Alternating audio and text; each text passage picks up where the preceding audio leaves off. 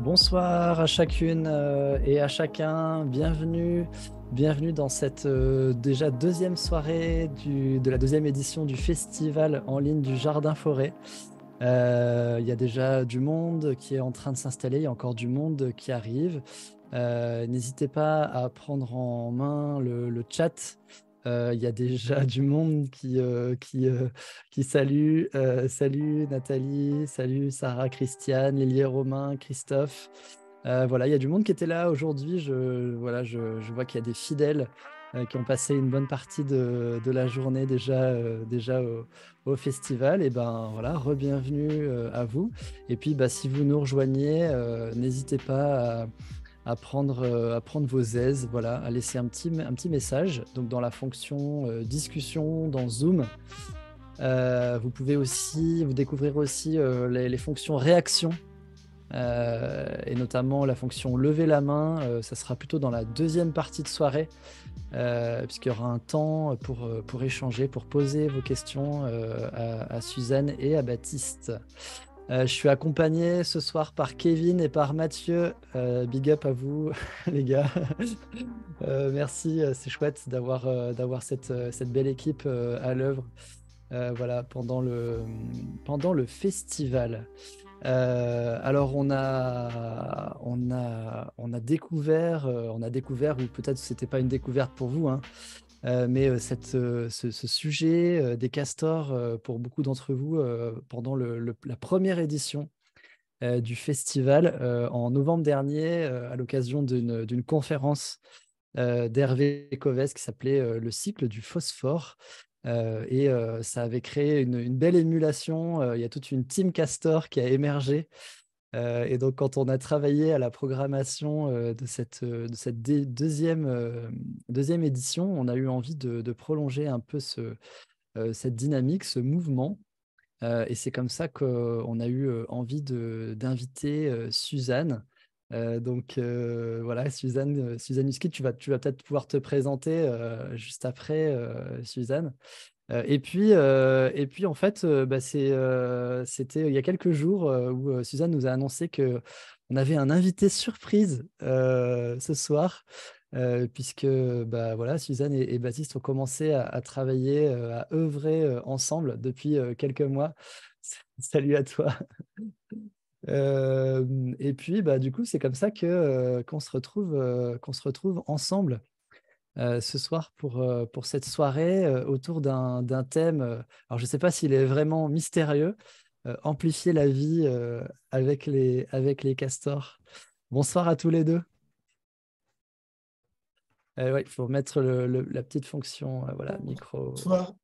Bonsoir. tout le monde. Salut, salut, salut à toi, euh, Baptiste. Euh, il y a Kevin dans le chat qui repartage, euh, si vous ne l'avez pas vu, le, replay de la, conférence d'Hervé. alors, il y en a certains d'entre vous qui, se sont réunis ce soir. C'était une des choses qu'on avait poussé pour cette deuxième édition du festival, c'est de profiter de l'occasion, vu que c'est un événement en ligne, pour aussi créer du lien localement. et donc, il y a toute une équipe qui s'est réunie à la chaufferie à Lille. Salut à vous. Il y a Pascaline voilà, dans, le, chat qui vient de partager, euh, l'info. Euh, oui, pardon, c'était le cycle de l'iode, je dis des bêtises. Euh, merci Kevin pour la, rectification. chouette. du coup, juste pour un petit point technique, tout à l'heure avec, avec Baptiste, on préparait et Suzanne, on préparait un peu la, conf et tu nous disais que tu es en haut de la montagne et donc c'est pas évident d'avoir une bonne connexion. Euh, donc on va voir ce que ça va donner. En tout cas, euh, voilà, sachez qu'on on fait euh, le maximum pour que ça, ça, puisse passer, que ça puisse être fluide. Peut-être que tu, à un certain moment, tu, tu devras couper ta, ta, vidéo pour qu'on puisse t'entendre un, peu, un peu mieux. Yod et anguille. Ok, pas de problème. Vous me direz, si jamais le son est trop mauvais, vous me direz, je couperai la vidéo. Yes, super, chouette. Très bien. eh ben, euh, donc l'idée, euh, on va donc on va passer une heure et demie ensemble, peut-être un peu plus. On va voir comment ça va ça va se dérouler. Euh, l'idée, la proposition que vous nous avez faite, c'est que peut-être Suzanne, tu, as une, tu vas faire la première partie de la présentation. ensuite, Baptiste prendra un peu le, relais et puis il y aura un temps réservé aux questions plutôt en, deuxième partie de soirée. Donc, si vous avez des questions et que vous ne voulez pas les oublier, vous pouvez les poser dans le chat et du coup, on les récoltera. soit je les poserai moi-même oralement, soit vous, pourrez les poser vous-même pour rendre la, la, soirée encore plus interactive. Voilà, et ben, je, vous laisse, je vous laisse la parole. C'est à vous. C'est parti. C'est un peu c'est un peu euh, expérimental, c'est seulement la, seconde fois qu'on fait ça, donc euh, on, fait, un essai. Moi, j'adore le fait que vous appeliez ça euh, retour d'expérience parce que ça va vraiment être plus dans ce registre en ce qui me concerne, parce que je ne suis pas hydrologue, je ne suis pas naturaliste, mais, mais je peux raconter des histoires un peu. Alors, je voulais commencer par vous montrer juste le, tout début, tout début d'un film. Donc, je vais partager mon écran.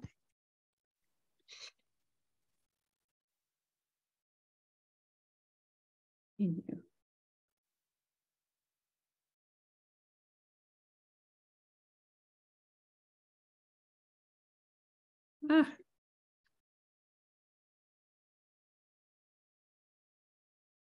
Alors, on n'entend pas le son. Je ne sais pas si c'est normal ou pas. Euh, ouais, on va refaire. Alors, désolé. Donc, Pas de souci. partage d'écran. Je clique le son. Mon écran. Il veut un code. OK. Je lui en donne pas. Et là, vous voyez mon écran? Oui, on voit ton écran. Vous entendez le son? Oui, super.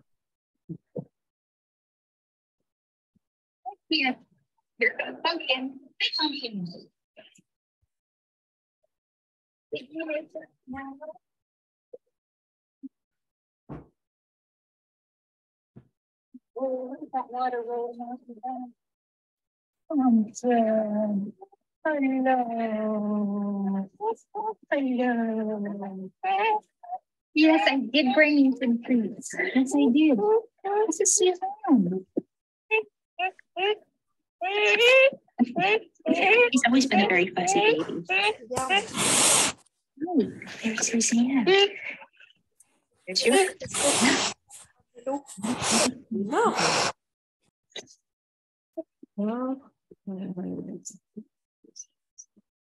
That was your office? Yeah, all right. Hmm. Alors, je voulais commencer par ça, euh, juste pour contextualiser un peu euh, cette, cette, histoire de Castor. Donc, une des premières choses, c'est le second film Castor que j'ai fait. Et je me suis dit euh, qu'il fallait que je fasse un film qui, qui, qui soit où, tout le monde veuille avoir un ami Castor. Et, mmh. et donc, je, lisais ces, ces, textes de cette naturaliste tout à fait singulière qui raconte euh, qui, écrit sur, euh, sur ses amis castors.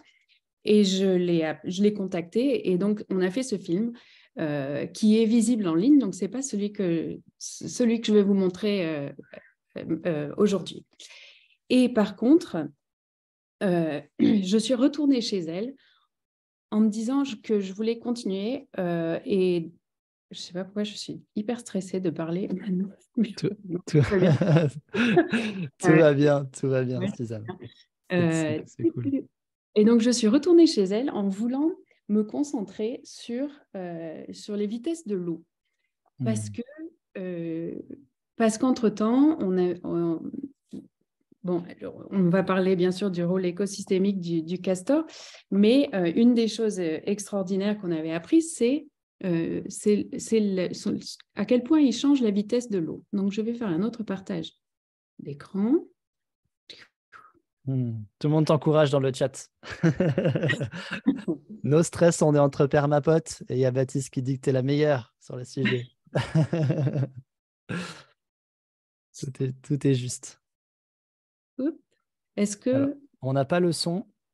C'est normal, normal. Il n'y a pas de son. Et celle-là, euh, il n'y a pas de son. Par contre, je voudrais vous inviter à, regarder, à, faire une observation en gardant en, en tête les cours d'eau que vous connaissez. Hmm. Donc, je, quand je suis retournée là-bas, et j'ai pas compris en fait, j'ai beaucoup filmé ce cours d'eau. Euh, donc, donc euh, cette naturaliste donc, euh, que, vous, que vous avez vue juste avant, qui s'appelle Patty Smith, elle descend tous les jours, elle descend à ce cours d'eau et, et certains des... Il y a je passe 7 ou 8 castors qui vivent dans ce cours d'eau sur les quelques kilomètres derrière chez elle. Et il y en a seulement une qui a décidé de, de, venir à sa rencontre et de faire un, lien avec elle. Et donc ce cours d'eau, euh, c'est celui-là. juste pour que vous compreniez qu'il ne s'agit pas de, castors euh, qui sont en, captivité et qui sont pas, euh, voilà, ils ont, c'est eux qui, qui choisissent d'interagir avec, avec elle, sachant que elle, oui, elle leur amène des carottes et elle leur amène des, des, cadeaux, mais un peu comme une amie. Bon, une amie un peu intéressée, elle est naturaliste, elle les observe, bien sûr. Et comme elle euh, crée ces liens d'amitié, elle est capable aussi d'observer des choses sur le temps long que peut-être pas beaucoup de naturalistes peuvent observer parce qu'ils ne les connaissent pas intimement. Et donc hmm. là, euh, donc comme je disais, quand j'y suis retournée, je ne savais pas ce que je filmais, mais, je, mais, mais voilà. Et, et, donc, vous, voyez comme l'eau, elle, elle, va, elle est à fleur, à fleur de terre et elle s'infiltre de tous les côtés. Vous voyez les arbres morts. Euh, c'est tout début de l'automne. Ah, là, il y a la hutte, en fait. Euh, il, y avait, il y avait la hutte à, gauche. Et alors ça, c'est, je vais mettre, là, ça, c'est un début de barrage. Et vous voyez tous les canaux qui rentrent et qui vont vers la forêt. Ça, c'est un barrage qui a commencé à se, enfin, qui se végétalise parce que c'est un barrage ancien. Donc, euh, on voit presque plus que c'est un barrage. Vous voyez les arbres morts au fond de l'eau. Vous voyez les, sédiments, la boue. Hmm. Ça tourne. Euh, il y a Aurélie qui dit euh, il n'y a aucun courant. Nathalie qui dit magnifique cours d'eau, grande naturalité du site. Hmm. Euh, là, pareil, un ancien barrage, même celui-ci, il y a même des, des saules très certainement qui ont repoussé. Je crois que dans celui-là, les, castors avaient amené euh, un piège à raton laveur qu'ils avaient trouvé, qu'ils ont récupéré dans la forêt, qu'ils ont ramené sur leur barrage. donc, ça, c'est des arbres noyés. Donc pour que vous compreniez pourquoi il y a des arbres noyés à cet endroit-là, c'est que donc on est, euh, on est au sud du Vermont, au nord de New York. Le castor, il a été éradiqué pendant la chasse à la fourrure euh, et, il a été réintroduit au début du XXe siècle pour filtrer l'eau qui va à New York. Donc, euh, déjà, il y a un siècle, ils avaient compris que pour filtrer l'eau, il n'y avait rien de mieux que cette succession de barrages de, de castors avec les sédiments, avec ces, différents bassins pour créer de l'eau propre.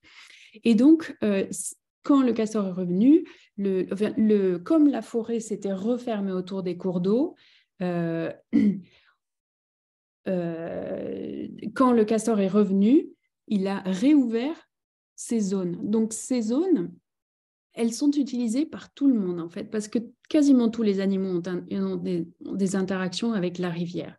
Les herbivores viennent, euh, viennent boire, les prédateurs viennent boire et chasser, et, tout le monde interagit avec ce lieu. Il faut que je vais enlever le son de cette chose-là? Et, euh, et donc, la vitesse de l'eau. Pourquoi, la vitesse de l'eau On avait appris le fait que euh, sur un cours d'eau de 2 km et demi, sans barrage de castor, euh, l'eau passe en 3-4 heures. Avec une succession de barrages de castor, l'eau passe en 20 jours. Et, et cette, cette observation, bien sûr, quand on la multiplie à l'échelle d'un continent, c'est vertigineux. On ne peut même pas quantifier, euh, on ne peut même pas arriver à, penser ça.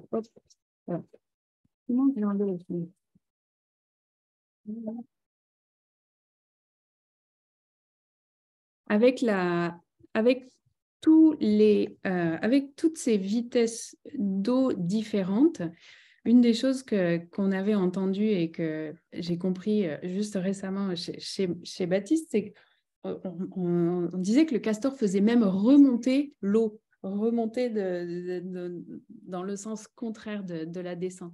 Et en fait, euh, en, posant un objet euh, à, un, endroit, euh, en, en, posant un seau à côté d'un barrage, on a vu le seau heurter le barrage et remonter remonter le cours d'eau dans l'autre sens. Donc, l'eau, elle, descend, elle se heurte, elle, elle, va taper sur les berges, elle creuse, elle, euh, là, elle est très lente. Et donc, à chaque vitesse correspond euh, un habitat. Et correspondent d'autres choses dont Baptiste parlera peut-être après. Et ça, ça, correspond à des sons aussi. Et, euh, et, alors là, je vais remettre le son en espérant que vous, l'entendez et je vais vous raconter un conte amérindien. Euh, Wabenaki, c'est un conte où euh, autrefois, euh, Nanabozo, quand il a créé tous les animaux, il a fait un peu, euh, il, a fait tout le monde trop grand. Tous les animaux étaient trop grands et c'était euh, c'était un carnage. Il détruisait les forêts beaucoup trop vite, les montagnes, c'était c'était vraiment pas possible. Donc, il a réduit tous les animaux jusqu'à ce que jusqu'aux tailles qu'on connaît maintenant. Et euh, il y a un animal qui était très en colère d'avoir été réduit, c'est le castor. Est-ce que vous arrivez, vous entendez le son? Non, on n'entend pas le son. Si tu veux qu'on entende le son, il faut refaire le partage avec le, en cochant la petite case euh, partage du son. Ok. Non. Euh...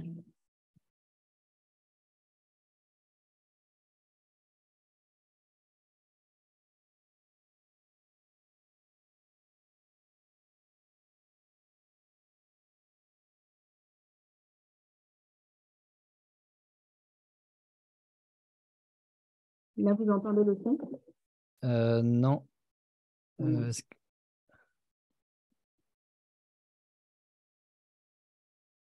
Hmm. Je crois qu'il est, il est baissé. Ouais, là, euh, non, il est à fond pourtant. Et dans ton ordinateur euh... Dans mon ordinateur, il est à fond. Ah ouais, ok. On n'arrive pas à avoir le son de celui-ci. Euh, bon, c'est le son de, de, glace qui est brisée. mmh. Et pour moi, c'était assez éblouissant que cet animal, il connaisse euh, l'état de l'eau dans toutes les circonstances. En fait, mmh. il la connaît euh, sous forme de neige, il la connaît glacée, il la connaît euh, et, et, et, bien sûr liquide, etc. Et,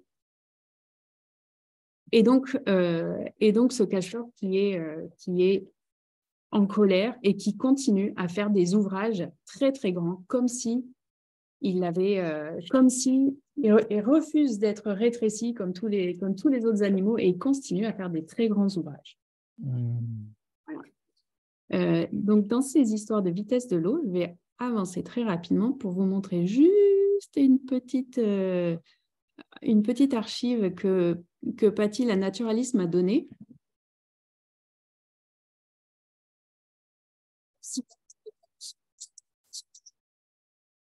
Ah, là, on t'entend plus.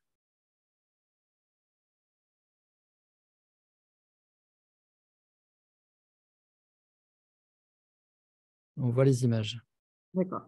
Euh, en fait, ce qui se passe, c'est que, oups, c'était juste, euh, euh, en fait, c'est le même cours d'eau que celui que je viens de vous montrer, à une saison différente, il y a eu un, une tornade qui, a, est arrivée avec plein de pluie et donc le cours d'eau il s'est transformé à ça à, une autre saison.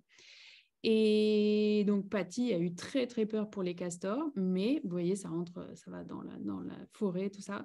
Mais euh, les castors s'en sont, euh, remis et on, et sont revenus, sont revenus reconstruire euh, pas longtemps après.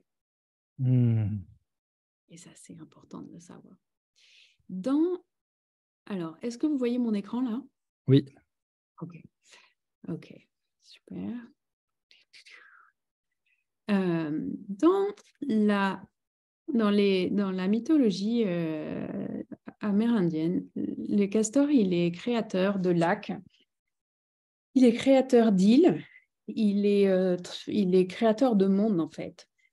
Et je voulais juste, puisqu'on a un petit peu de temps ce soir, je voulais juste euh, parler du fait que le fait qu'il soit créateur de lacs, c'est vrai.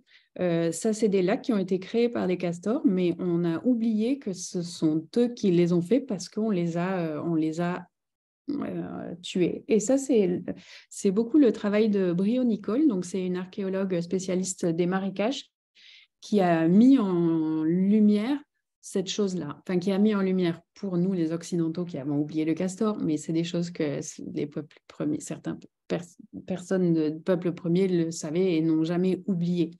Mais donc, nous, en, Europe, euh, Brion Nicole a trouvé qu'en Angleterre, en Suisse, en France, on avait des lacs qui avaient été créés par des castors. Et comment mmh. ils savent C'est en faisant des carottes euh, à l'endroit où l'eau euh, s'en va et ils s'aperçoivent qu'il y a de la matière, pas seulement de la matière minérale, mais de la matière du bois, tout ça. Organique, oui. Que le castor a amené.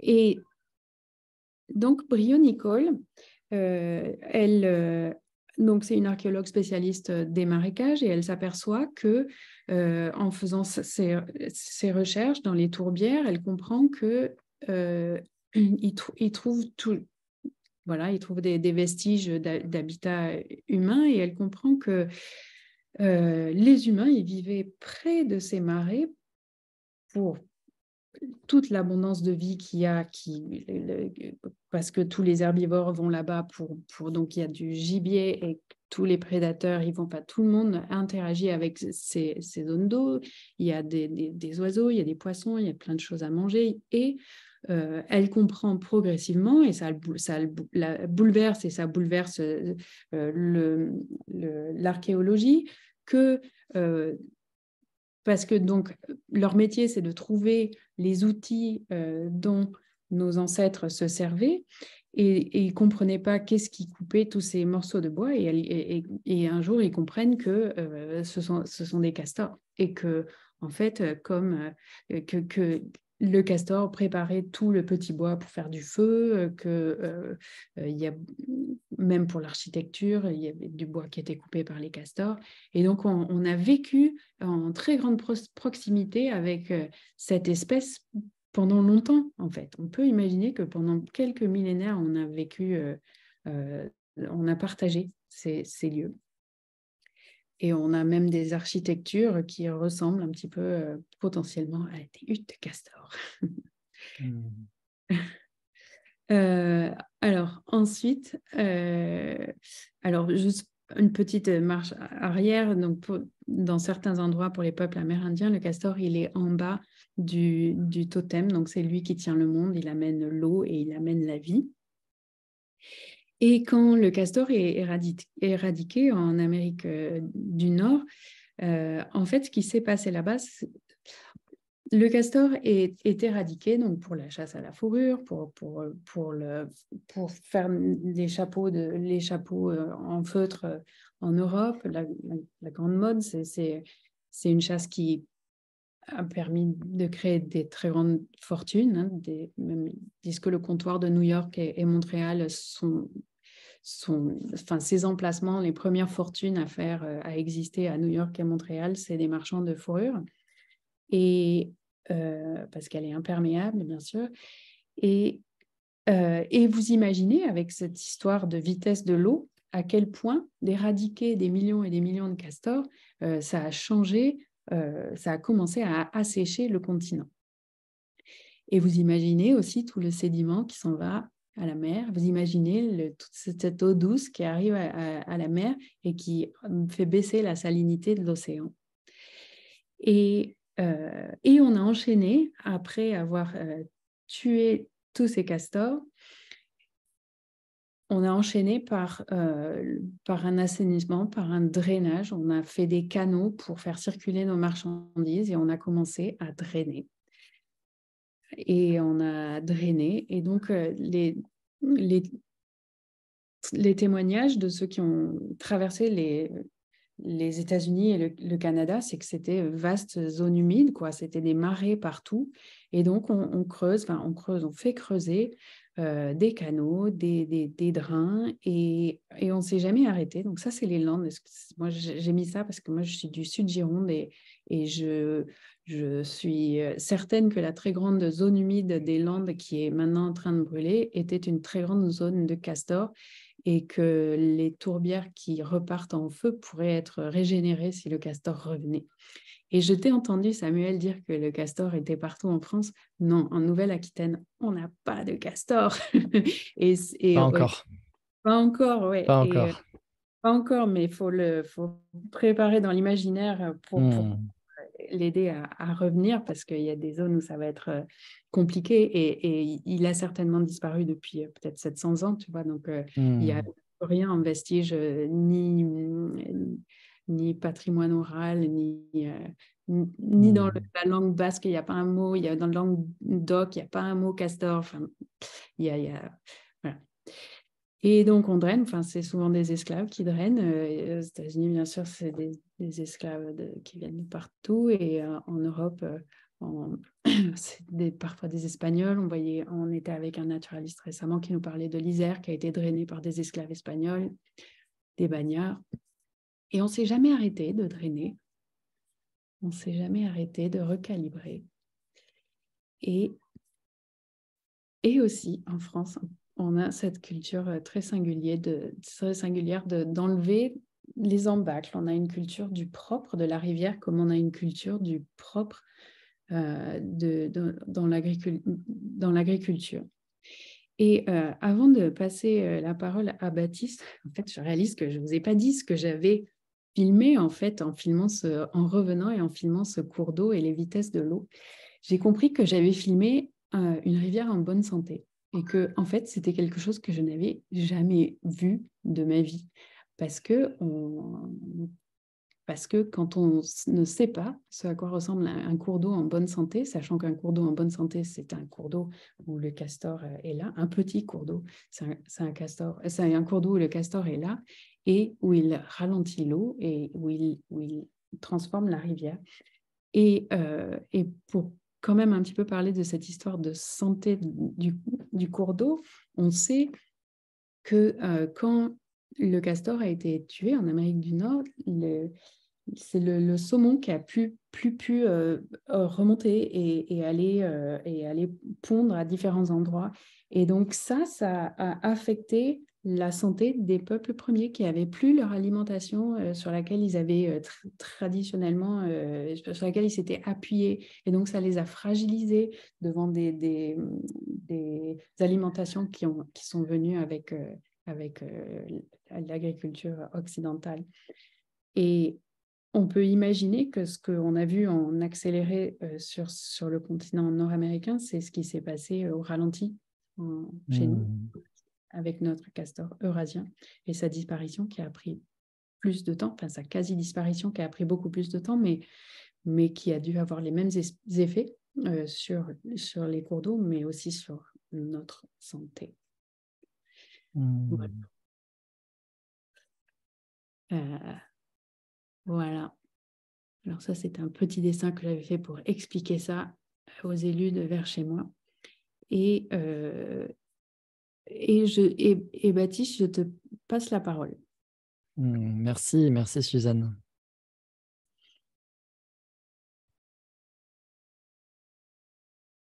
Bonsoir tout le monde. Euh, merci beaucoup, Suzanne. Euh, est-ce que vous m'entendez bien? On t'entend assez bien. Je vais essayer euh, de ne pas parler trop vite pour être intelligible. Euh, donc euh, voilà, donc moi je suis philosophe et enseignant, chercheur à l'université. Je travaille sur les relations entre l'humain et le reste du vivant. J'ai beaucoup travaillé sur des questions de cohabitation conflictuelle entre les humains et d'autres animaux, par exemple le loup, et comment imaginer une diplomatie pour que certaines formes d'élevage puissent cohabiter avec un grand prédateur euh, et qu'on puisse partager la terre, partager des usages de la terre sans forcément euh, vouloir détruire ce qui nous dérange. Et euh, suis- je- j'ai beaucoup pisté les animaux sauvages. Ça fait des années que je suis fasciné par le castor. Et récemment, euh, grâce à Suzanne, euh, qui, m'a euh, introduit à un, nouvel aspect du castor qui est assez fascinant, qui est la question du rôle écologique du castor à l'échelle continentale, et notamment en lien avec le changement climatique, eh bien, on a décidé de mener ensemble un projet qui va prendre la forme d'un livre qui va sortir dans quelques mois. Ce livre s'appelle Le Castor Manifesto. Euh, et euh, c'est un livre qui essaie de porter ce qu'on appelle un mouvement d'alliance avec le peuple castor. Euh, et un mouvement d'alliance qui serait collectif, qui serait citoyen, qui serait porté par des habitants. Et donc, no- notre idée, c'est de montrer l'importance du castor dans sa présence, mais aussi de montrer comment on peut régénérer les cours d'eau en s'inspirant du castor même quand il n'est pas là, et comment ça peut aussi lui faire de l'hospitalité active pour qu'il revienne dans les endroits où il n'est pas encore revenu. Là, vous voyez en image euh, le, le blason qu'on est en train d'imaginer euh, Mhm. pour euh, ce mouvement d'alliance avec le peuple castor.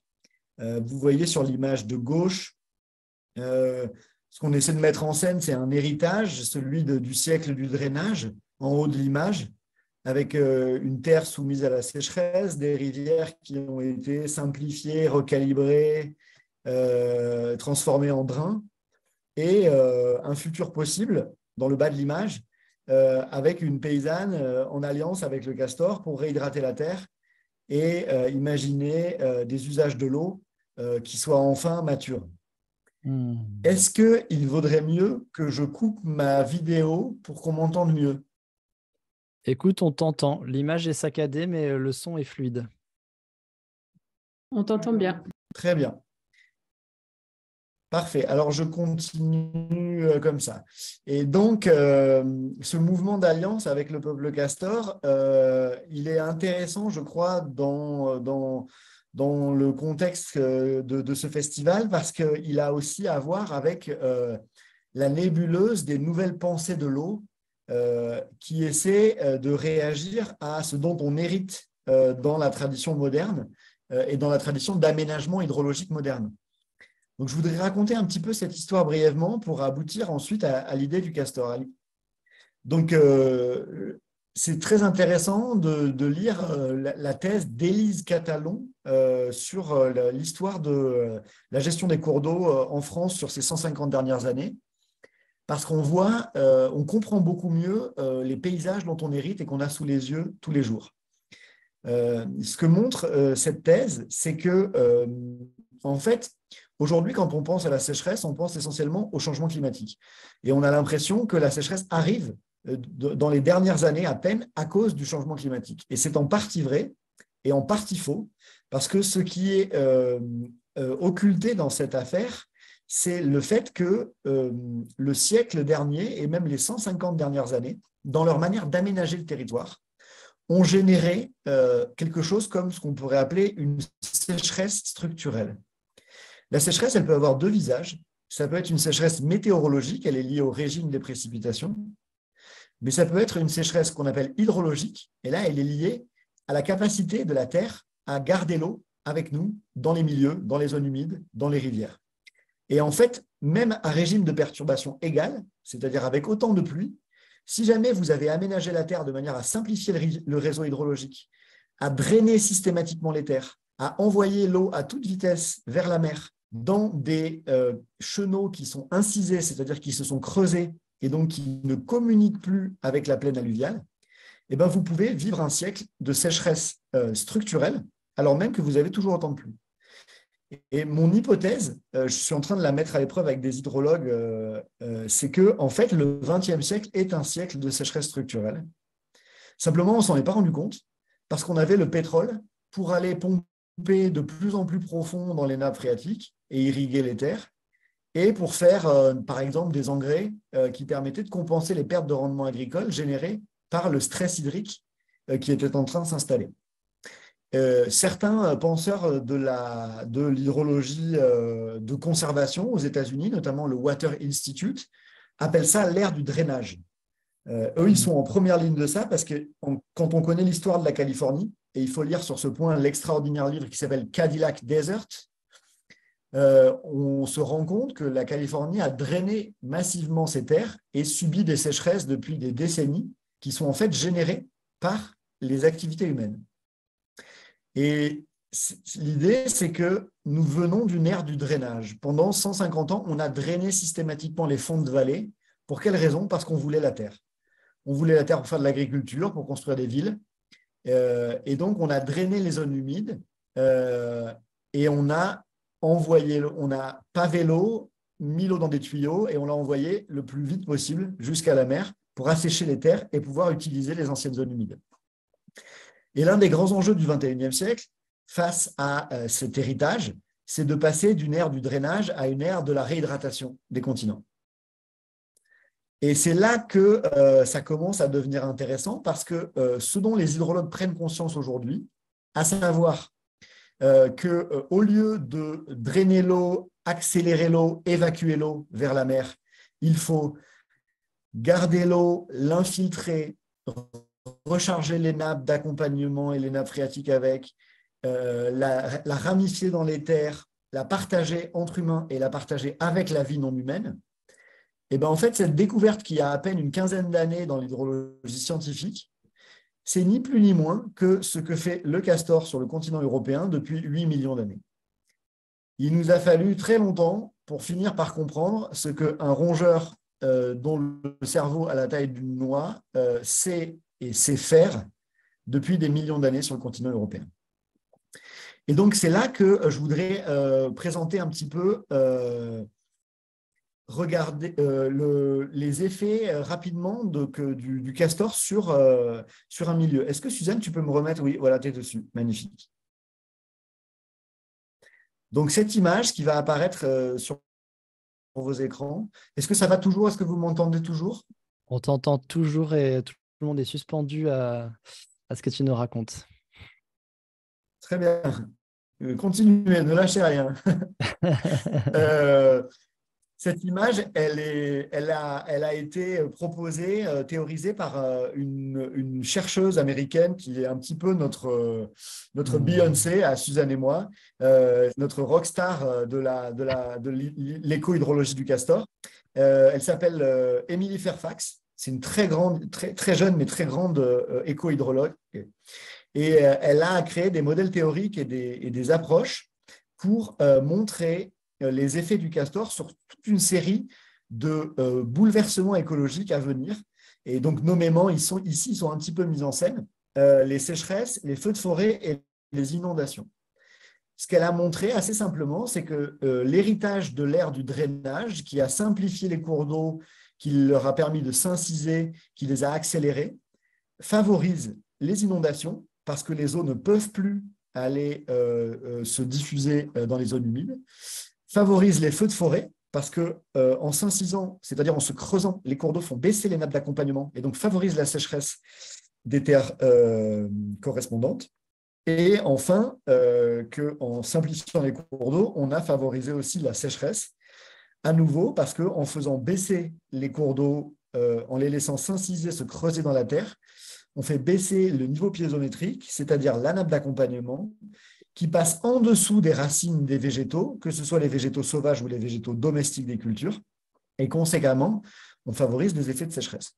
Et donc, elle le met en scène dans cette image, où vous voyez euh, sur la gauche euh, une terre qui est asséchée parce que le ruisseau a été simplifié et il s'est incisé, c'est-à-dire il s'est creusé en allant manger du sédiment verticalement. Et comment? En faisant baisser la nappe, c'est le petit schéma qui est en bas à gauche, eh ben, ça favorise la sécheresse et, euh, conséquemment les feux. Et ce qu'elle met en scène à droite du schéma, c'est euh, à quoi ressemble un milieu castor transformé, un milieu transformé par les castors.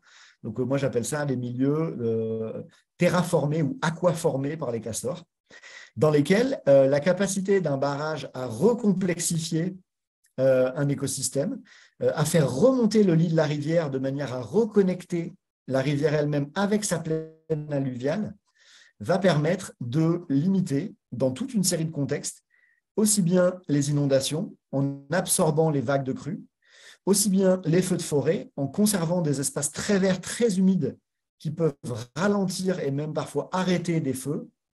Euh, c'est rare que ça arrête les feux, hein, soyons honnêtes, mais en tout cas, ça crée des refuges pour la vie sauvage euh, quand euh, les, terres brûlent, où, les graines, les animaux vont se réfugier dans les zones à castor, et ensuite, après les feux, c'est de là que les graines et les animaux peuvent aller réexplorer et réhabiter les milieux qui ont brûlé. Et troisième élément, bien évidemment, les, les, complexes de castor, c'est-à-dire les cascades de barrages, euh, font remonter l'eau dans les nappes, elles, font remonter les nappes d'accompagnement et euh, elles permettent de réhydrater euh, les sols, l'éponge que constituent les sols, et, plus loin, les terres, parfois sur des très longues distances. Avec Suzanne, on a, on a enquêté sur un barrage de castor en Isère, qui est un barrage ridicule. Il fait 30 cm sur un cours d'eau qui fait 2 mètres de large. Et en fait, euh, ce petit barrage a réhydraté 20 hectares d'anciennes euh, zones humides. Euh, vous voyez le barrage en bas à droite. Vous voyez ce barrage. Moi, quand la première fois que je l'ai vu, même, je croyais même pas que c'était des castors. Ça ressemble vraiment à rien. Et en fait, la zone a été réhydratée. il a fait monter la nappe d'accompagnement de 30 cm sur 20 hectares. Et ça a généré des effets intéressants pour la zone humide et des effets ambivalents euh, pour les, plaines agricoles. Sur certains points, ça irrigue beaucoup plus efficacement les récoltes. Sur d'autres, ça ennoie un peu les champs. Et donc là, on tombe sur la question du conflit, de la cohabitation. Comment on fait pour, euh, pour cohabiter avec ces animaux? Euh, voilà un petit peu ce que je voulais présenter sur l'effet écologique du castor. Et à partir de là, j'aimerais bien explorer une, question qui est celle qui nous anime avec Suzanne, qui est comment est-ce qu'on peut porter euh, un mouvement d'alliance avec le peuple castor? Je, parle de peuple castor parce que ce qui est intéressant, c'est de comprendre cet animal non pas comme un individu à fourrure très mignon, mais comme une force géologique, une force écologique majeure. Quand on pense le, castor à l'échelle euh, des, populations, à l'échelle de euh, de leur grand nombre dans les écosystèmes, leur capacité à réhydrater les sols et à complexifier les écosystèmes rivières, à permettre aux rivières de se régénérer est colossale. Et c'est ça, à mon sens, le sens profond de, l'histoire euh, de Nana Bozo, euh, dont Suzanne a parlé tout à l'heure. Le castor refuse d'être rapetissé, il va continuer à produire des effets à grande échelle. Et ces effets à grande échelle, eh bien, ils sont susceptibles de nous aider, si nous, nous voulons bien aider le castor et les milieux rivières, ils sont, susceptibles de nous aider à faire face à, certains, euh, à certaines des, crises, des crises de l'eau, euh, des crises de sécheresse euh, qui, vont, qui sont en train d'arriver avec le changement climatique.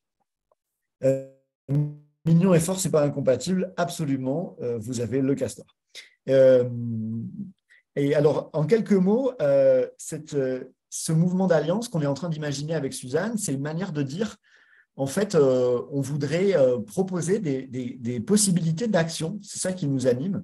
Alors, euh, sur comment est-ce que des, collectifs citoyens, des associations de protection de la nature, des permaculteurs, des assos paysannes pourraient s'emparer un peu partout en France où elles veulent eh ben de, ce petit manuel qu'on est en train d'écrire.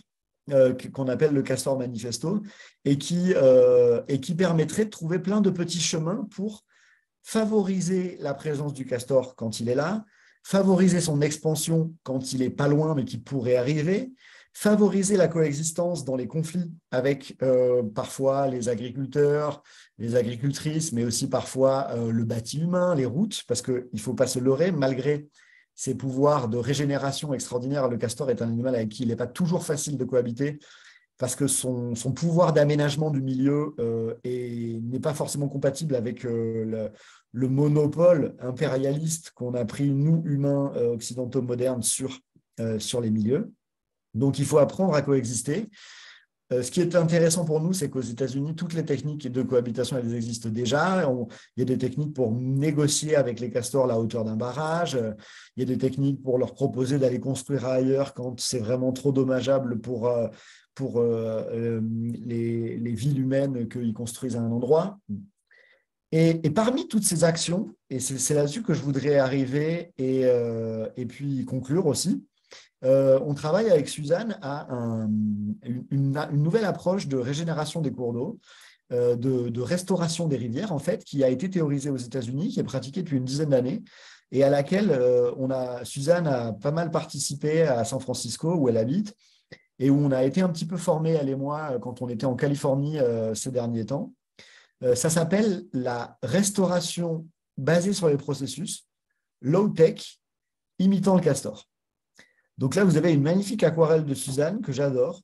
Euh, notre, livre, sera illustré avec des aquarelles de Suzanne où on va essayer de façonner une éducation populaire à la rivière par le castor en utilisant les images pour essayer de, de, de, de, nous faire comprendre en fait comment fonctionnent ces milieux extraordinaires que sont les rivières. Donc, vous avez cette aquarelle. Euh, cette aquarelle, elle est, elle est intéressante parce qu'elle montre différentes phases de régénération d'un cours d'eau en utilisant cette méthode à laquelle on a été un petit peu formé avec Suzanne, euh, de restauration des cours d'eau imitant le castor. Donc, vous voyez la première image, vous héritez d'un cours d'eau qui a été recalibré, simplifié, qui s'est incisé, c'est-à-dire il s'est creusé très profond. Le lit mineur s'est complètement déconnecté de la plaine alluviale il ne peut plus du tout aller réhydrater la plaine. Et par ailleurs, il a été euh, bétonné, endigué avec des digues de béton. Donc, ce que met en scène la première image, c'est euh, eh ben, un tractopelle qui commence par faire ce qu'on appelle de l'ingénierie soustractive. Et, donc, il va consister à enlever le béton pour pouvoir laisser ensuite euh, le milieu vivant eh bien, faire le travail de, de sa propre régénération. Ensuite, dans la deuxième image, vous voyez euh, ben justement cette fameuse pratique de restauration basée sur les processus low-tech imitant le castor. Euh, l'idée, c'est, eh ben, de, il y a plein de pratiques, mais une, la plus spectaculaire, c'est de construire des ouvrages qui imitent les barrages de castor quand ils ne sont pas là et qui ne peuvent pas le faire eux-mêmes, et, euh, et, qui vont produire la magie du castor sur les milieux, qui vont complexifier le cours d'eau, lui permettre de se régénérer, rehausser le lit, reconnecter le cours d'eau à la plaine alluviale, refaire monter la note d'accompagnement. Ça s'appelle en effet euh, en, américain des Beaver Dam Analogues. Nous, on appelle ça avec Suzanne des ouvrages castor mimétiques. Moi, j'aime bien appeler ça des ouvrages parce que euh, je trouve qu'il ne faut pas qu'il y ait de malentendu avec l'idée d'un barrage humain. Le barrage humain est très différent dans ses effets écologiques de l'ouvrage de castor. Euh, et euh, donc, euh, c'est important de, faire des, distinctions décisives. Et donc là, Suzanne est en train de lancer un film où, en fait, on est, a créé des, on est en train de créer des tutoriels avec Kevin Swift, que vous voyez à l'image, qui est un extraordinaire humain d'abord, mais en plus un extraordinaire pédagogue sur la restauration de processus low-tech imitant les castors. Et donc là, on est avec lui en Californie, sur Frog Creek, un petit ruisseau complètement incisé, complètement endommagé, euh, complètement euh, euh, fragilisé. Et, donc, on a filmé ce tutoriel dans lequel on est en train, ça c'est moi, vous voyez, avec mes waders tout propres, de construire un de ces fameux ouvrages castor mimétiques pour euh, en fait réhydrater toute une, toute une plaine alluviale. Euh, et, donc ça, ce sont des techniques qu'on est en train d'essayer avec Suzanne d'amener de, en France. Donc on les théorise, on, écrit dessus, on est en train de préparer des tutoriels. Euh, à terme, on va inviter Kevin Swift à faire des formations en France pour qu'il forme notamment des techniciens de rivière, mais aussi des, gens qui voudraient s'intéresser à ça, à comment restaurer une rivière en imitant le castor.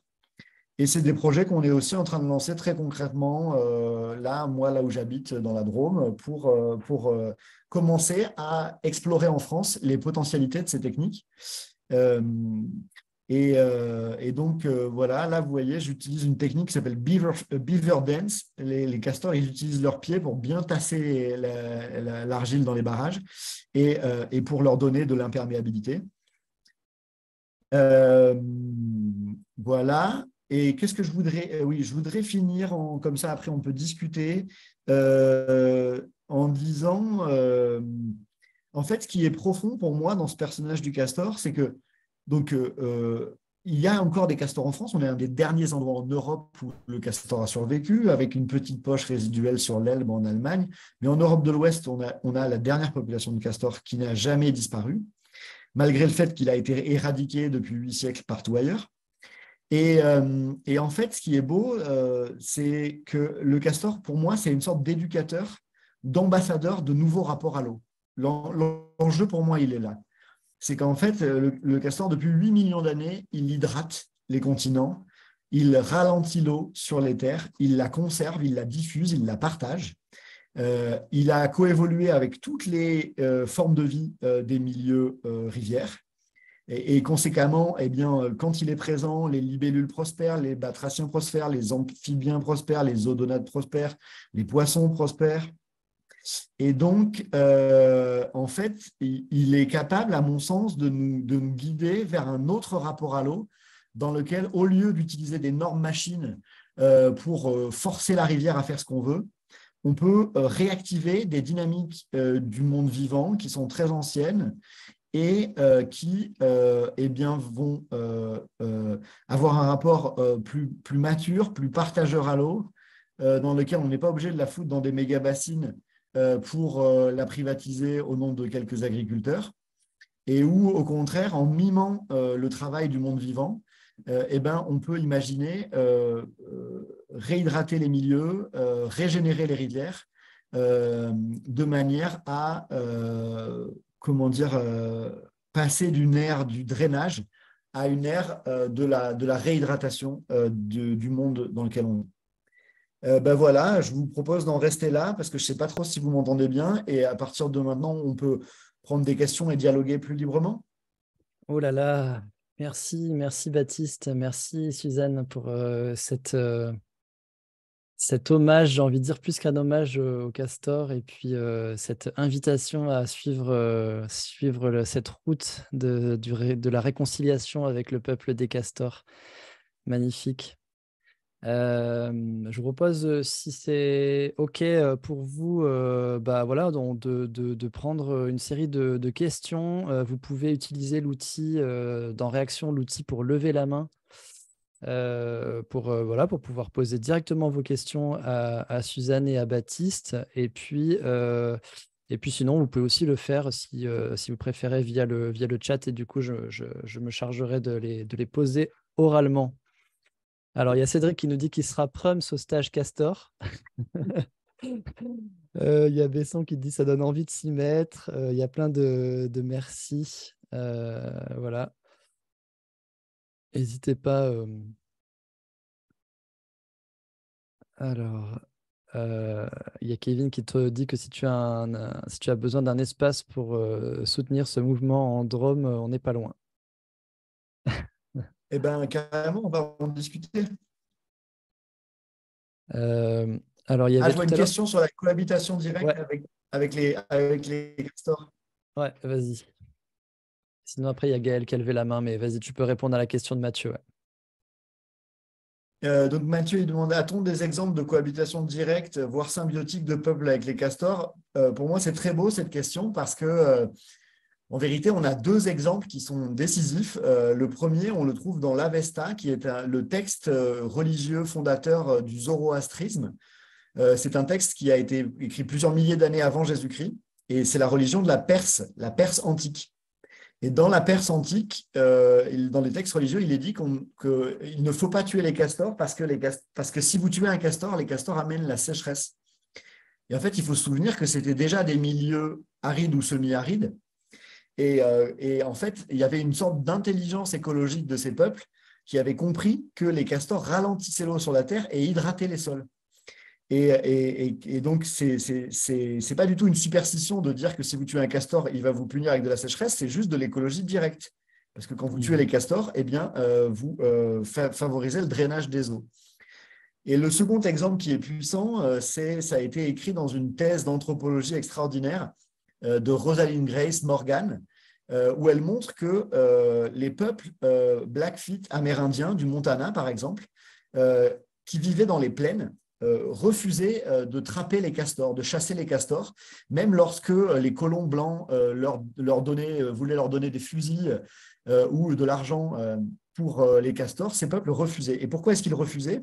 Parce qu'ils étaient parce qu'ils vivaient dans les milieux des grandes plaines américaines, qui sont des milieux très secs, et qu'ils avaient compris que les castors, en fait, favorisaient euh, les autres surfaces, la présence des autres surfaces, euh, et euh, hydrataient les prairies de telle manière qu'ils allaient construire leur campement à côté des barrages de castors et qu'ils ils considéraient le castor comme un allié, comme un allié direct. il y a dans la mythologie, enfin même pas la mythologie, dans les pratiques Blackfeet, il y a cette idée très belle que le, euh, le castor est l'allié des femmes parce que les femmes sont responsables de faire le feu dans les, dans les cultures Blackfeet. Et en fait, le castor, en mangeant les arbres, il fait énormément de copeaux au pied des arbres que vous avez peut-être déjà vu si vous pistez le castor.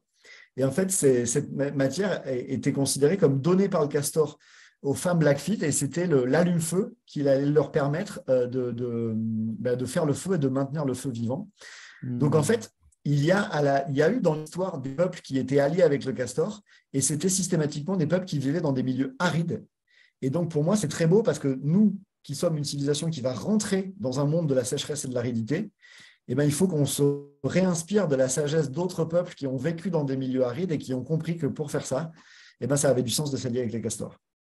Hmm, super, merci. Merci pour ce, partage.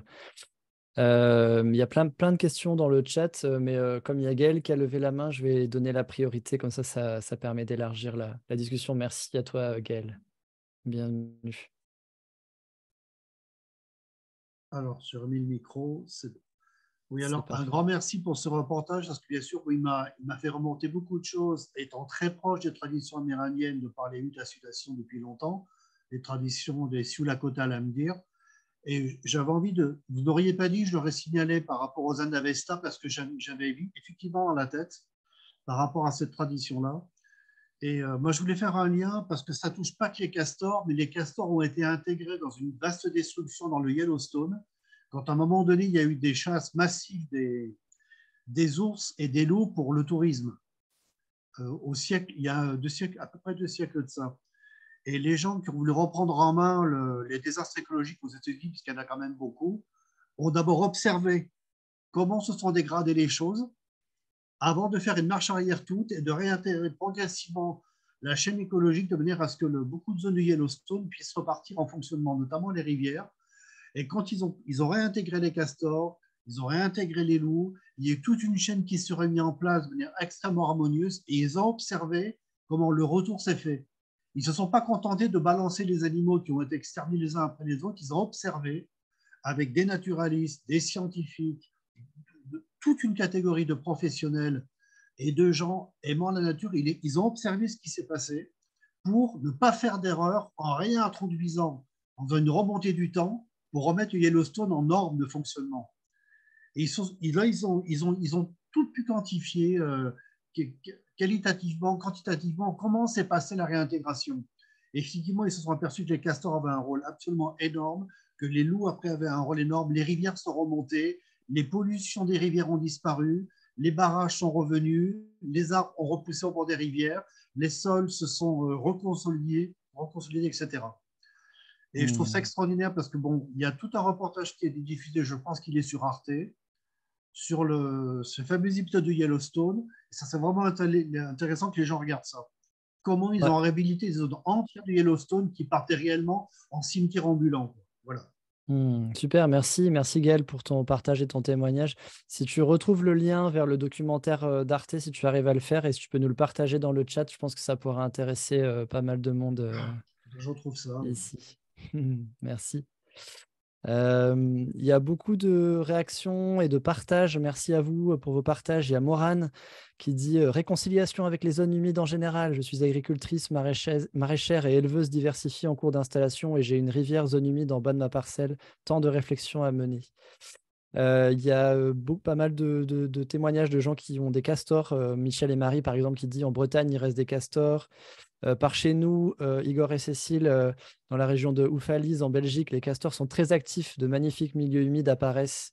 tout à l'heure, dans le chat, vous avez peut-être vu passer, il y a Kevin qui a partagé une, cartographie de, la présence des castors en France.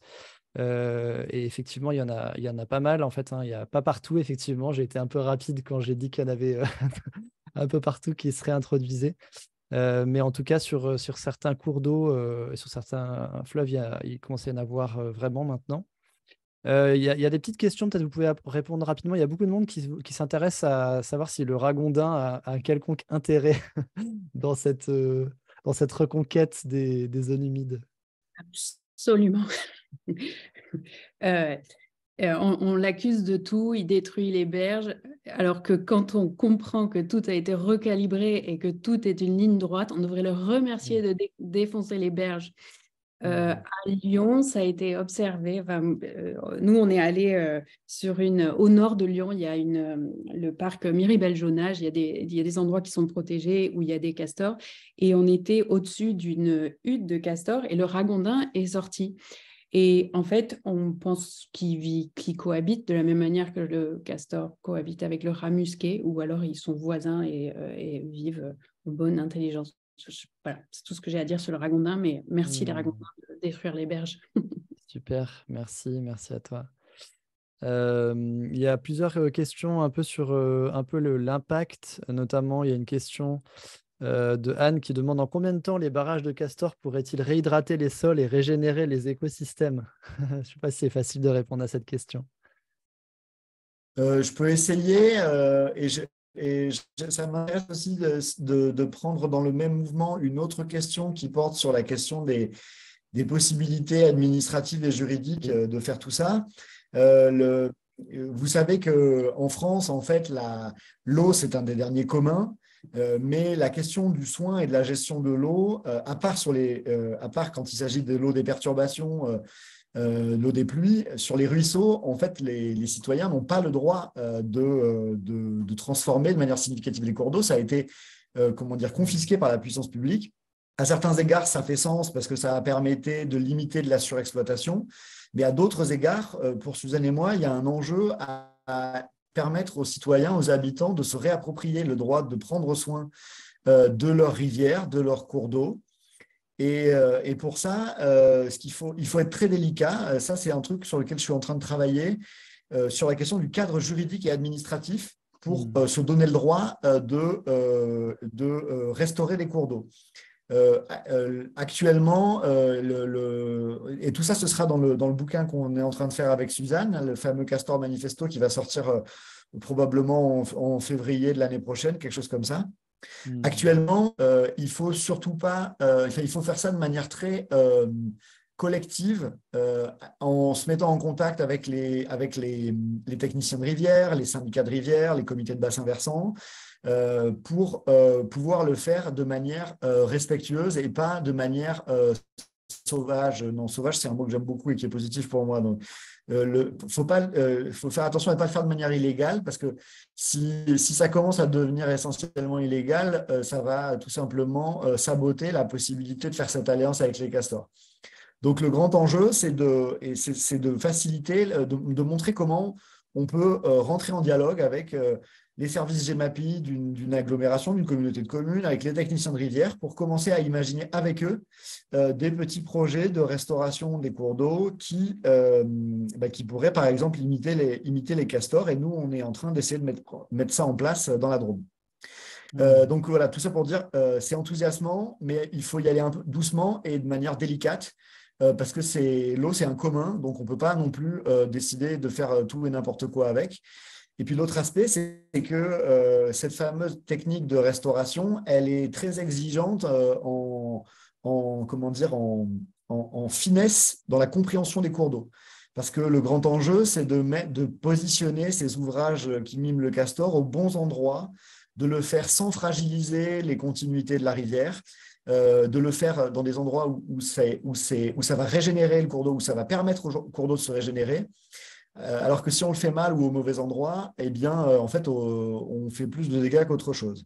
Et c'est aussi pour ça que c'est important pour nous de, euh, faire venir Kevin Swift et d'autres en France pour qu'ils commencent à former des formateurs et qu'on puisse s'initier à, à, ce savoir-faire qui, permet de, qui implique de savoir lire des rivières, d'apprendre enfin à, comprendre comment les rivières fonctionnent. Et maintenant, rapidement, sur euh, à quelle vitesse ça va, eh ben, c'est fascinant, ça peut aller très très vite en fait. Euh, ça peut aller très très vite, ça peut se faire en quelques jours, quelques semaines, en fonction, euh, quelques mois, en fonction de, de la conductivité hydraulique du substrat minéral du sol et des pendages stratigraphiques, pardonnez-moi pour les termes techniques, en fait, de, des pentes des strates alluviales mais euh, la beauté de, cette restauration, c'est que le, castor, c'est un animal qui, transforme le milieu à très grande vitesse. Et donc, les potentialités euh, euh, de, produire des effets visibles, de, favoriser la guérison d'un cours d'eau, eh ben, ça peut se faire à l'échelle de quelques semaines. On, peut le voir se, faire sous nos yeux. Et enfin, je voudrais soulever un dernier point sur la question des castors en France, là, de la carte qui a été partagée. Euh, euh, il y avait une quarantaine de castors en France au début du XXe siècle, juste 40 individus environ. Aujourd'hui, dans les estimations globales, on considère qu'il y a environ 15 000 castors en France, et comme l'aire de répartition elle est relativement grande, on a l'impression qu'il y en a beaucoup. Mais c'est un, une illusion absolue. Les castors ont été éradiqués euh, sur les huit derniers siècles, et je, je, travaille en archéologie sur une estimation du nombre de castors qu'il y avait en France il y a 800 ans avant qu'on les éradique. Et dans mon estimation, c'est autour de entre 500 000 et 2 millions de castors. Donc, euh, c'est pour ça qu'il y a aussi un enjeu à favoriser la coexistence, à, favoriser leur présence. Et c'est ça aujourd'hui le grand message qu'on voudrait porter avec Suzanne, c'est que euh, il, faut, euh, il faut communiquer sur l'image positive du castor, sur les bénéfices qu'il apporte au milieu, parce qu'actuellement, il est simple, il est caricaturé sous l'angle de ses nuisances, parce qu'il va en noyer une petite parcelle de champ, parce qu'il va manger quelques, quelques arbres d'un arboriculteur, et donc il est considéré comme euh, beaucoup comme, comme, comme une nuisance. Et en fait, les dons que les castors font aux sociétés humaines et aux milieux et aux écosystèmes sont immenses, sont beaucoup plus grands que leurs nuisances, mais ils sont invisibles. Et donc, il y a un enjeu à préparer l'imaginaire, comme dit Suzanne, euh, et en, communiquant sur les bienfaits que les castors génèrent sur euh, les rivières et euh, les écosystèmes de fond de vallée en général. Alors, je, complète avec, avec quelque chose par rapport. oui, il est présent sur tous les territoires, mais finalement très peu, parce que récemment, j'ai travaillé dans le Doubs, où le castor est là, sauf que pour le gérer, en fait, ils ont créé des bassins à la pelle mécanique où le castor vit. Et du coup, il ne il, il, joue pas son rôle parce qu'à aucun endroit il fait remonter la nappe phréatique et il, il est contenu dans ces, dans ces endroits. Et ce dont on, a, aurait besoin, c'est que de, le laisser euh, faire son rôle sur, sur des cours d'eau et non pas essayer de le contenir. Génial, super, merci, euh, merci. Euh, tous les deux. Avec, euh, avec Kevin, on, on, a commencé, on avait commencé à réfléchir euh, suite euh, notamment à la venue de, de Suzanne chez nous l'été dernier au fait de faire un, un, documentaire voilà, qu'on avait envie d'intituler La promesse du castor.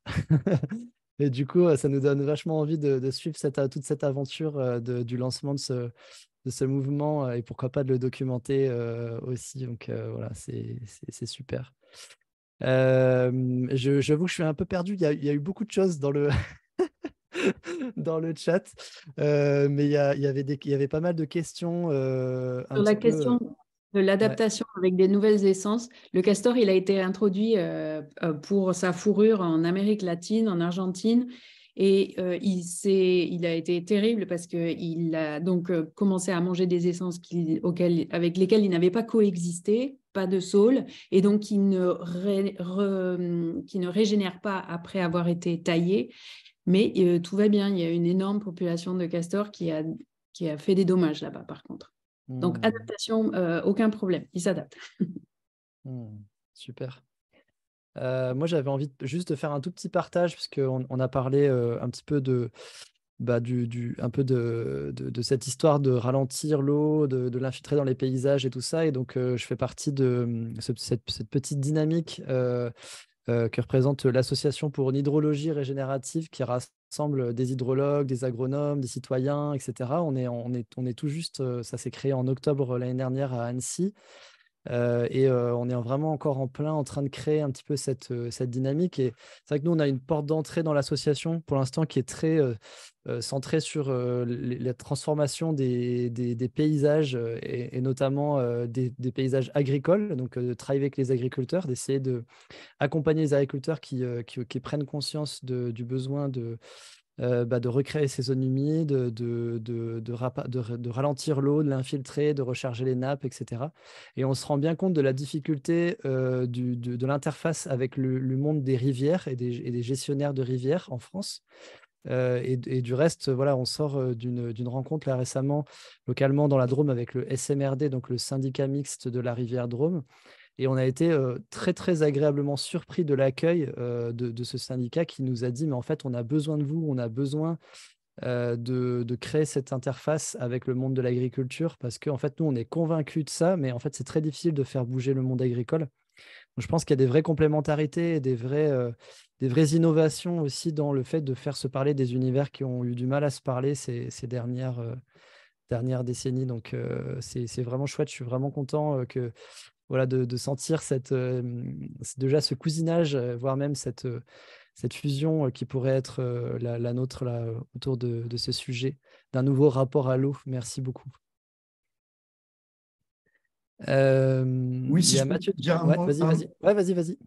Euh, dire un petit mot là-dessus. en effet, moi, je fais le même constat que toi, parce que moi, je travaille beaucoup dans des associations paysannes ici dans la Drôme et on est euh, très intéressé par euh, les techniques de keyline design et, et euh, ce qu'au sens large on appelle, on commence à appeler maintenant ici l'hydrologie régénérative. Mais comme tu le dis, l'hydrologie régénérative, elle a un nom un peu trompeur parce que à l'origine, c'est, elle vient, c'est quand même des savoir-faire qui ont à voir avec, qui viennent des pratiques d'irrigation d'une très grande intelligence, qui viennent de contextes d'agriculture de aride ou semi-aride. Et, euh, et ce n'est pas en lien direct avec l'hydrologie scientifique telle qu'elle est nommée, c'est qui est euh, la science des, dynamiques des cours d'eau, d'hydromorphologie des cours d'eau. Et hmm. comme tu le disais, c'est deux mondes en fait. Et euh, en vérité, c'est deux mondes, mais c'est deux mondes sociologiques, mais ça ne devrait pas être deux mondes parce que, à mon sens, il y a un cousinage, comme tu dis. je sais pas, si, je pense pas qu'il y ait une fusion parce que c'est aussi deux logiques différentes où euh, dans, l'hydrologie, dans, la, restauration des cours d'eau, on est vraiment centré sur des, sur des cours d'eau, des zones humides, des forêts alluviales, hmm. euh, qui sont connectées à des terres agricoles, mais euh, c'est différent de, rentrer par le, chemin cours d'eau sauvage ou de rentrer par le chemin irrigation. Mais ce qui m'intéresse, moi, c'est l'idée que ça appartient à la même famille des nouveaux rapports à l'eau que j'appelle, euh, en, m'inspirant de Brock Dolman, euh, passer d'une ère du drainage à une ère de la réhydratation. Et là, il y a mmh. clairement, à mon sens, une alliance entre les nouvelles approches de l'irrigation, de conserver l'eau en hydrologie régénérative et la restauration des cours d'eau imitant le castor. Mmh. Et, aussi, nous, on est un petit peu arrivé à cette question par l'agriculture, parce que aux États-Unis, moi, ce qui m'a un peu ébloui, c'est donc ces histoires d'agriculteurs qui arrêtent de tuer les castors, parce que le castor, c'est, euh, il est largement vu comme un nuisible à cause de sa capacité à transformer un environnement. Mais en fait, euh, un agriculteur qui arrête de tuer euh, ces castors, tout d'un coup, il a de l'eau en, plein, en plein été, il a un mois de plus de, pâturage possible, et, et, du coup, il y a un enjeu économique pour un agriculteur. Un agriculteur. Mmh. Ouais, surtout maintenant. Et du coup, c'est mmh. vrai qu'avec Baptiste, on, on, a, on a cherché des, des, cohabitations euh, mmh. pour. Parce que. Moi, j'ai des mmh. exemples intéressants hein, sur des projets que j'accompagne. Euh, je, peux, je pourrais témoigner, mais euh, euh, typiquement, j'ai des agriculteurs, par exemple, qui, qui, qui, se lancent dans, des, dans, des, dans des, la mise en place d'ouvrages qui permettent du coup d'infiltrer l'eau, de recréer des zones humides sur leurs parcelles. Et en fait, ils ont l'OFB, donc l'Office français de la biodiversité, qui commence à observer ça, qui requalifie leurs parcelles agricoles en zones humides et qui du coup crée bah, tout un un cortège de réglementations euh, nouvelles euh, qui font que l'agriculteur, il n'a plus le droit de circuler à tel endroit, il n'a plus le droit de faire ci à tel endroit, etc. Et en fait, on a des agriculteurs qui ont l'impression d'être trahis dans un certain sens parce qu'eux, ils ont fait ils ont été euh, un petit peu dans une certaine direction. Et en fait, ils se retrouvent avec une montagne de contraintes réglementaires derrière parce que bah, d'un coup, ils se retrouvent avec une zone qui est requalifiée en zone humide, et voilà, et avec plein de, contraintes nouvelles qu'ils n'avaient pas forcément anticipées ou sur lesquelles ils n'étaient pas forcément conscients de ce que ça allait donner. Donc on voit bien, enfin là où je rejoins complètement Baptiste, c'est qu'il va falloir retravailler entièrement la façon de, de, bah, de, de, légiférer autour de ces, de ces sujets-là Parce qu'en fait, pour l'instant, on a, on a légiféré pour essayer d'empêcher la destruction des zones humides, mais on n'a pas légiféré pour accompagner la recréation de nouvelles, euh, de nouvelles zones humides. Quoi. Et donc, c'est complètement une autre manière pour le législateur de penser, euh, de, penser les choses, et ça va être intéressant. Mais du coup, il y a un, grand changement euh, voilà, qui va prendre du temps. qui va prendre du temps. Quoi. Donc, yes, il y a National qui dit c'est dur ce que tu nous dis. Euh, je ne sais pas ce qui est dur, mais en tout cas, voilà, il y a, clairement, euh, euh, comment dire ça, une, difficulté qui est que beaucoup de terrains agricoles ont été repris sur des zones humides, mais souvent depuis longtemps. Cette histoire-là, elle est, souvent ancienne. La, mémoire de ça n'est plus forcément très active et très vive. Et du coup, c'est vécu psychologiquement euh, le fait de rendre euh, des, des, zones au castor, euh, à l'eau, etc., c'est vécu comme un retrait ou comme une perte. donc il y a quelque chose de très négatif, en tout cas émotionnellement vécu par les agriculteurs. qu'il va falloir accompagner et qui va pas être évident. Quoi, parce que voilà, si, je perds 10-15%, même s'il y a des avantages sur le reste de ma ferme, etc., c'est quand même des processus qui sont pas faciles. Rendre des terres pour retrouver, d'autres. C'est ça. Est-ce que. Ouais, vas-y, vas-y. Euh, non, mais j'essaie de, réagir un peu à ça et puis peut-être de euh, réagir un peu à des petites questions qui émergent. Euh, sur la question, par exemple, de la conflictualité, est-ce que le castor est, est une menace pour les, pour les agriculteurs, agricultrices limitrophes? Eh ben, En fait, quand on regarde les constats de dommages, on se rend compte que dans les endroits où il y a du castor depuis longtemps, dans la Drôme, nous, on a du castor très actif depuis, en fait, quasiment en continu. Euh, et euh, on se rend compte que euh, bah, les dommages, ils sont très clairs. C'est la plupart du temps, c'est un barrage de castor qui va en noyer un petit bout de, de parcelle agricole. Hmm. et donc là, ce qui est intéressant, c'est qu'en fait, aussi bien en Bavière, en Allemagne qu'aux États-Unis, euh, il y a des gens qui sont très actifs pour imaginer des, techniques de cohabitation avec le castor, et notamment euh, euh, qui sont non létales. Hein. Tout l'enjeu, c'est d'arriver à cohabiter avec lui, à partager avec lui un espace sans avoir à le tuer. Et notamment, eh ben, par exemple, en, utilisant des techniques pour faire baisser la hauteur d'un barrage de manière à ce que le castor puisse bénéficier de son barrage mais que le barrage reste à une, assez bas pour ne pas ennoyer les terres agricoles. Hmm. Euh, bien évidemment, euh, il y a une telle pression sur le foncier, il y a une telle, euh, il y a une telle exigence de rendement, de maximiser l'usage des terres, que ça implique de la conflictualité. Mais pour moi, le message important, c'est de se souvenir que les, les bienfaits du castor pour les écosystèmes et euh, l'agriculture sont très supérieurs à ces nuisances, même si ces bienfaits sont invisibles. Et c'est pour ça qu'il y a un enjeu d'éducation populaire à la rivière et au castor et aux zones humides pour montrer euh, que euh, ces effets sont positifs. Et avec Suzanne, on, va chercher des retours d'expérience de, paysans, paysannes qui acceptent du castor sur leur parcelle et, qui essaient de montrer comment euh, ça leur apporte euh, à eux aussi euh, des avantages. Ça marche plutôt bien sur les terres d'élevage parce que quand vous avez du castor qui réhydrate une prairie, et, eh ben, vous, et que vous êtes un éleveur, vous êtes susceptible d'avoir de, laisser pâturer vos bêtes dehors un mois de plus longtemps que les autres éleveurs qui, dont les prairies n'ont pas été inondées. Donc il y, a plein de petits lieux d'alliance qui ont déjà lieu, qui marchent et donc, il faut communiquer dessus. C'est un peu notre enjeu avec Suzanne. On va faire des portraits dans notre livre de, ces, gens-là, de ces paysans, paysannes. Euh, euh, et, après, quand le conflit est trop intense, eh ben, euh, il faut trouver des solutions de cohabitation pour arriver à vivre avec tout en reconnaissant l'importance de sa présence. Et il y a en place déjà des systèmes de dédommagement, non, Baptiste? C'est ce, ce dont on nous avait parlé?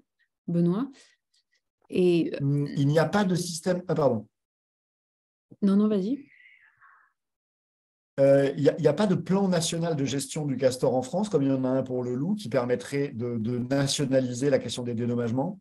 Par contre, il y a ici et là des associations de protection de la nature qui sont très matures sur ce sujet et qui ont imaginé des plans de gestion du castor à l'échelle des Comcom, dans lesquels ils vont essayer de débloquer des fonds, par exemple avec le fonds vert, pour dédommager les agriculteurs euh, et leur permettre de cohabiter avec le castor sans avoir envie de, leur, euh, eh ben, les flinguer. Hmm. Super, chouette.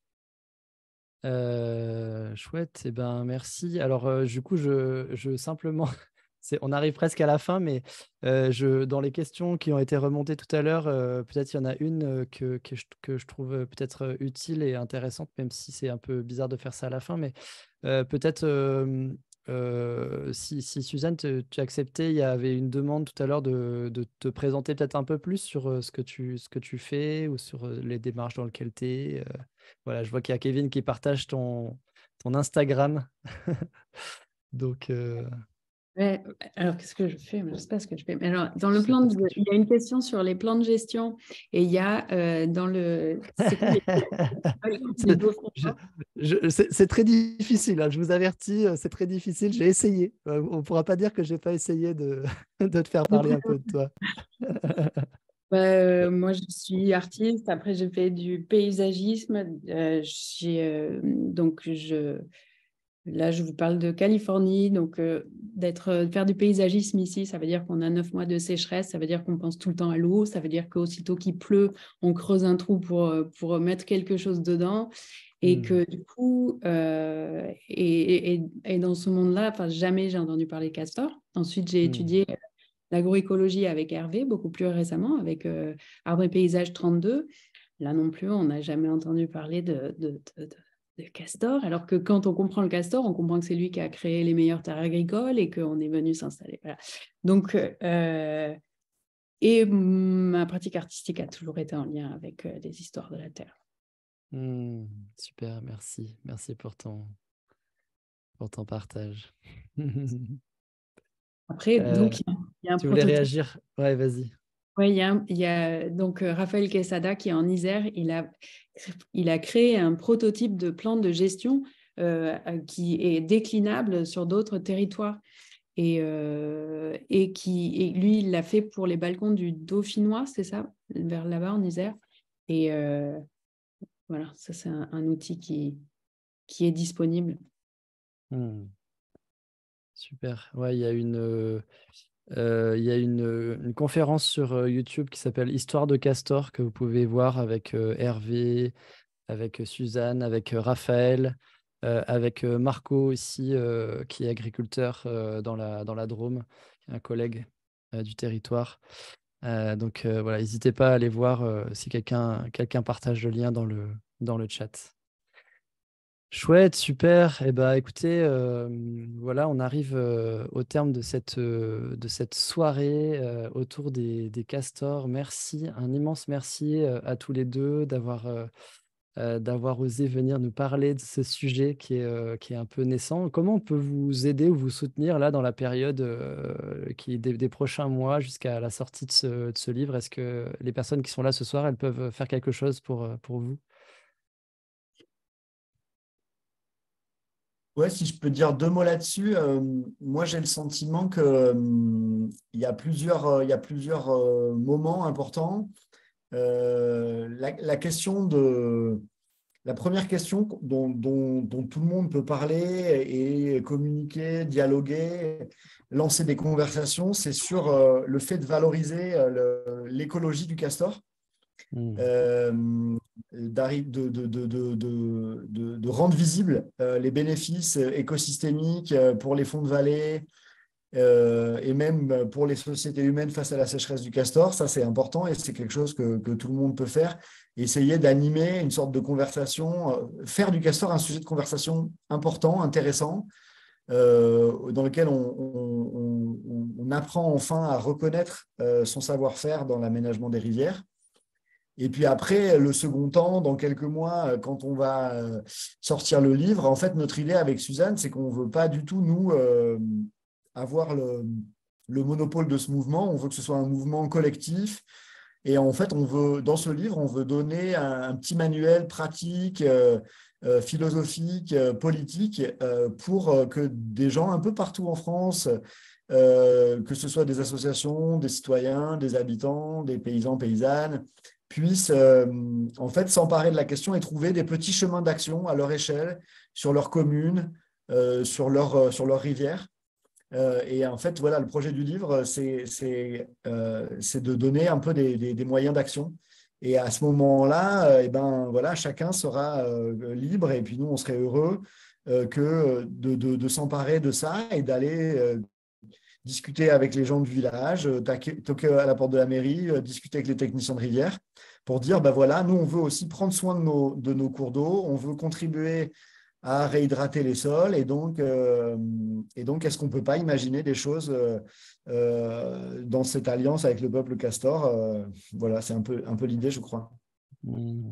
super, merci. Et très concrètement, il y a aussi cette idée de, de, de euh, faire un prototype en se servant de ces médecines douces, en fait, de restauration de cours d'eau. Donc, et, et, et, et, ça, on vous tiendra au courant parce que c'est une manière de sortir de, de, ne pas se servir de ces de machines et, donc d'avoir des effets irréversibles sur la rivière. Et, euh, mais bon, ça, c'est pas encore en place et c'est vrai qu'il faut aller lentement avec ça pour, euh, pour bien faire, en fait. Mais. Euh, mmh, on se tient au courant, en tout cas. On, se, on, on reste avec les antennes bien bien ouverte pour, pour être, être avec vous au moment où, on peut faire des... Je crois qu'il y a beaucoup de personnes là, qui, dans, le, dans le chat en tout cas, qui ont manifesté leur intérêt pour participer à ces, à ces premiers, premiers projets qui pourraient être portés. Chouette.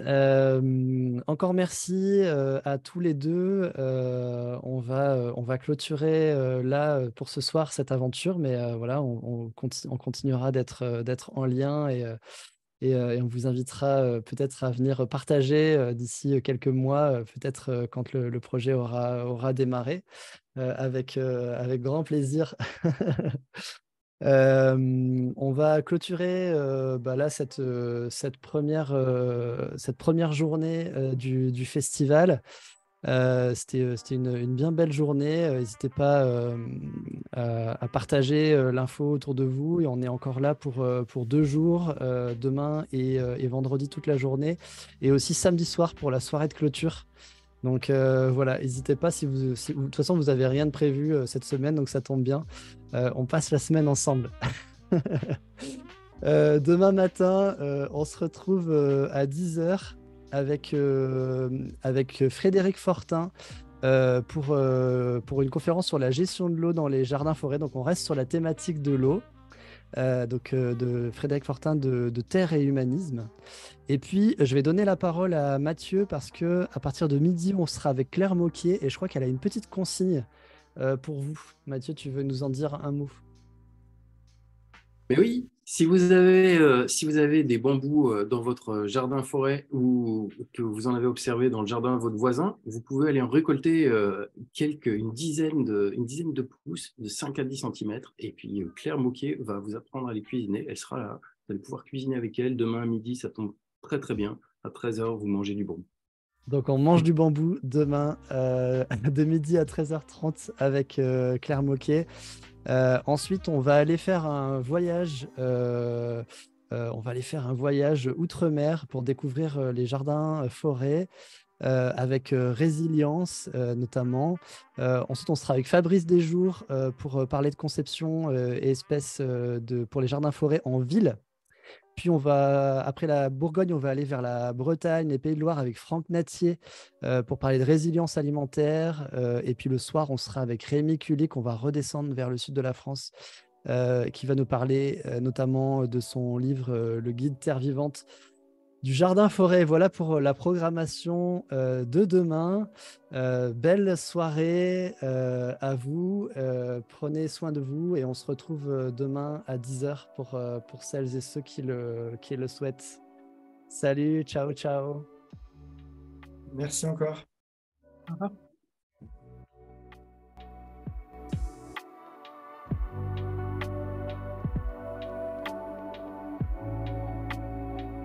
C'est vrai qu'avec